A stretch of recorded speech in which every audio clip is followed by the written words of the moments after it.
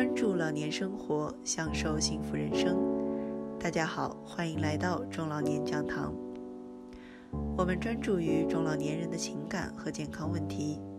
大家可以点击右下方的订阅按钮，免费订阅我们的频道。希望我们的影片能给你带来一些帮助与启示。今天要给大家分享的是，退休后一定要停止做这八件事。每一个人都要步入老年生活，辛苦了半辈子，总是要退休的。儿孙自有儿孙福，天塌不下来，地也陷不下去。操心那么多，小心儿女嫌你烦。半辈子都过去了，人生还剩几何？剩下的日子要为自己好好过，好好安排好自己的退休生活，不给老伴添负担，给儿女惹麻烦，不给亲朋招是非。退休以后要做到八停止。这是一位老人写给自己的信，没有空话套话，说的全是家常话，言简意深，每一点都十分朴实、具体有益，每一条都可以做得到，赶紧收藏好，对每一位中老年朋友都十分有用。一，停止回忆过去，我们这一代人的孩童时代。青年时代，多多少少都吃了一些苦。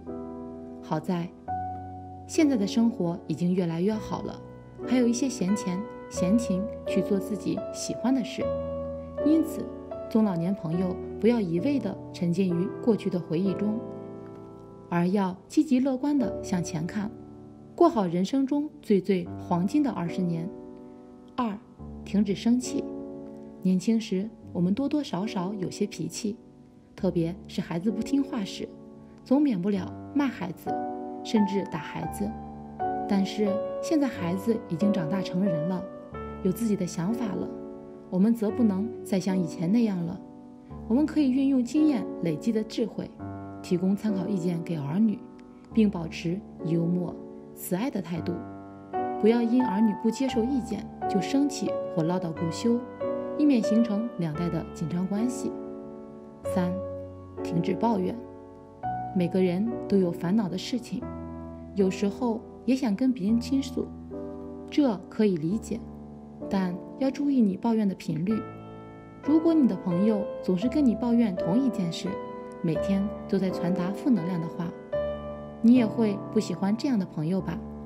四，停止浪费时间。弹指一挥间，我们都已经迈入中老年的行列。时间不等人，我们更没有机会浪费时间了。想做什么就去做，想要什么就去买，想吃什么就去吃。别再说什么等以后，等有时间，等过几天了。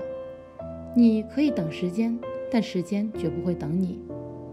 五，停止孤独。无论是与子女同住，还是和老伴儿两人生活，都要做到精神独立。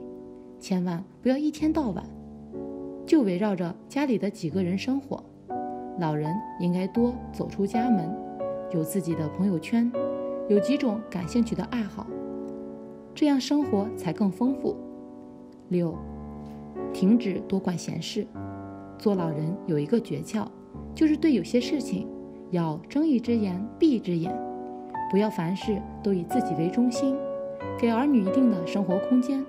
不干涉他们的生活，在孙辈教育的问题上，中老年人千万不能以有经验自居，应该明白孩子的父母是谁，尽量按照孩子父母的观点去带孩子。七，停止唠叨。健康、工作、婚恋等是中老年人最喜欢跟子女交流的话题，而年轻人最反感中老年人反复叮嘱一件事情，因此少唠叨。有些事孩子们心里清楚，自己有谱，咱们就别总啰嗦。八，停止存钱。中老年朋友们不妨停下存钱的脚步吧，存折上的钱只是一个数字。辛苦了一辈子的我们，真的要对自己好一点，在自己能力范围内，不要太在乎一件衣服多少钱，一个白菜多少钱，要舍得花钱。钱花了才是自己的，存起来的钱只能算遗产。老人八停止，每一条都细致入微。